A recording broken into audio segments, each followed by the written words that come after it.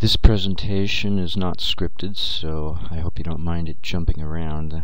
Apparently that's the way I do things. It's going to be similar to the Stanley Meyer series in that I'm trying to unearth a little known secret that I have a hunch as to a missing piece of information as to how Nikola Tesla managed to power his purported Pierce Arrow electric car in 1933, 1934. We're not quite sure when.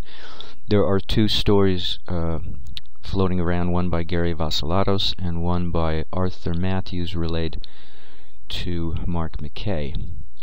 And I'm going to blend these two stories where I can, but for the most part, I'm going to fill it in substantiated by Peter Lindemann's analysis of one of Nikola Tesla's accomplishments in which he patented, in which he uses the sun as a source of energy on a plate, which is grounded, and in between the ground and the plate there is a capacitor, I believe, and the capacitor has a parallel shunt to a impulse driven motor or any kind of impulse driven device since the capacitor will take time to charge and, and then discharge as it's soaking up energy from this one wire connection to the sun which is grounded to the earth as the other end of the capacitor or condenser in the old style of the word.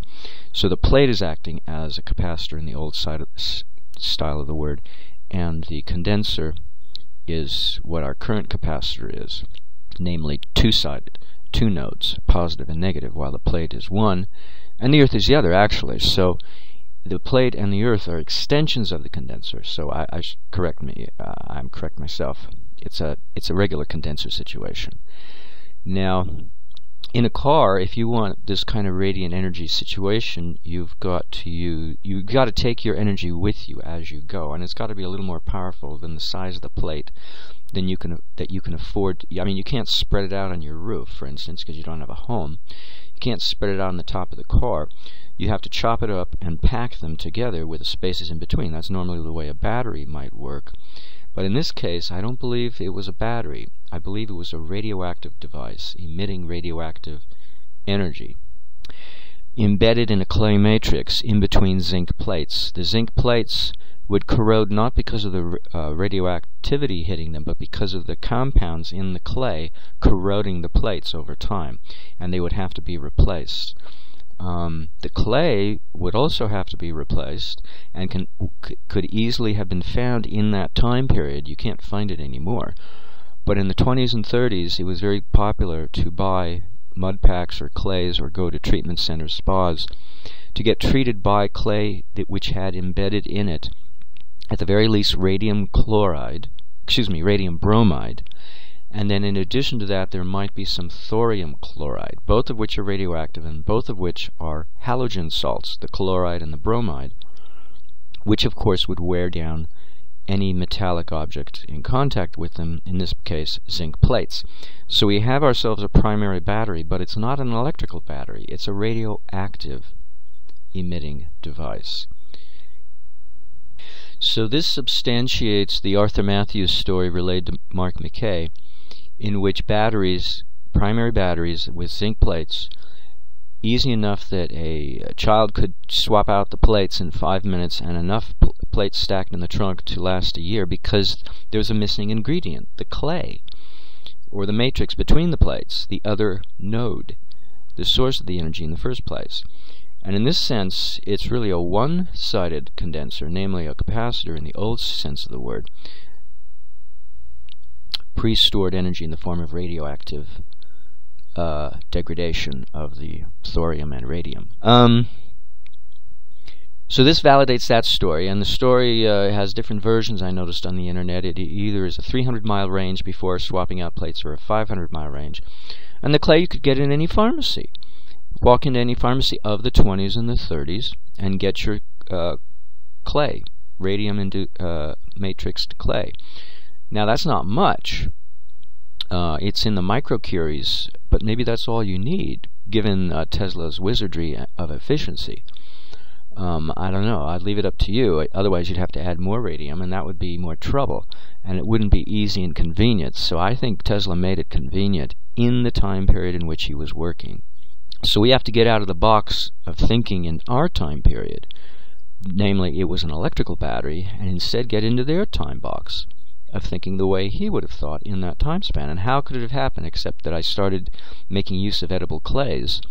And then I realized that a metal hydride battery, the hydride part, is similar to the swelling edible clays, the type of edible clays that swell when you hydrate them. Hydrate them.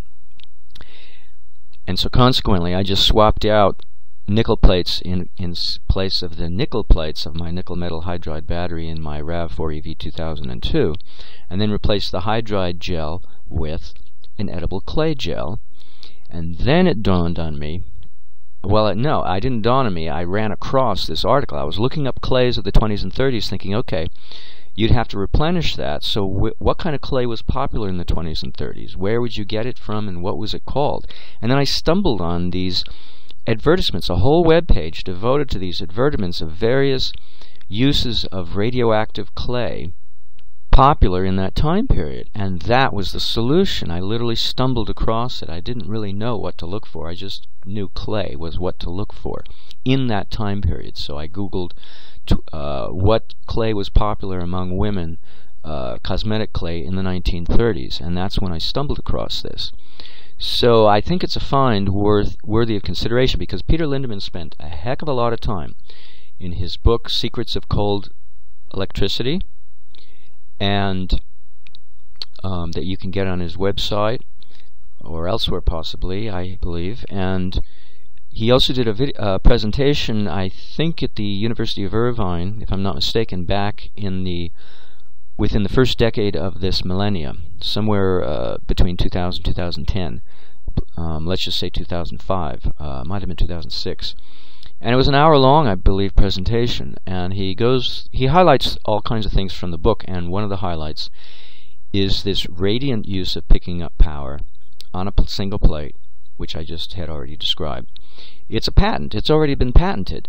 So all uh, Tesla had to do was scale down his Wardenclyffe Tower operation of one wireless electricity uh, transmission of power to a portable unit that could be carried around inside a car namely radioactive um, production of energy, picked up by the zinc plates and then carried through the circuitry. Now, I don't know what is considered ground in that circuit, maybe the chassis of the car, I would imagine.